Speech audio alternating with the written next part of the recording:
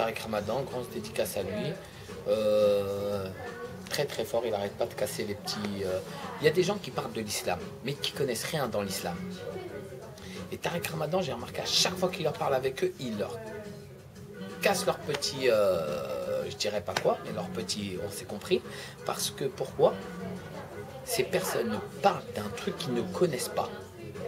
Et c'est un des seuls qui connaît vraiment et où, qu'est-ce qu'il faut faire? C'est pour ça que quand on parle de Tariq Ramadan, je le dédicace et c'est quelqu'un qui fait quand même qui est pas n'importe qui.